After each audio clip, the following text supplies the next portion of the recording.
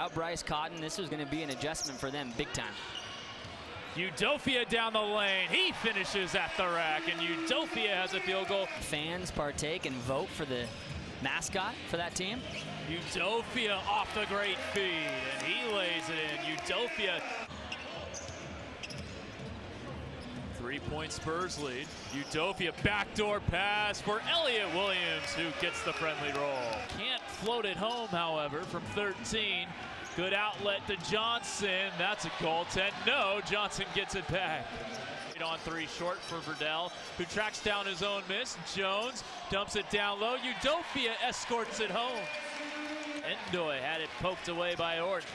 Numbers for Santa Cruz. It's Staten off the glass. No, but the putback throwdown for Chris Udofia.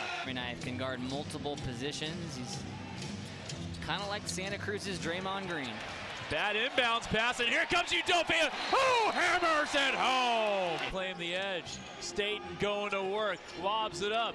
Extra pass, Udofia. The foul line, Jay. He sinks the jumper, and Santa Cruz is back on top. Johnson sprint from the corner right to the top of the key to get a wide open three.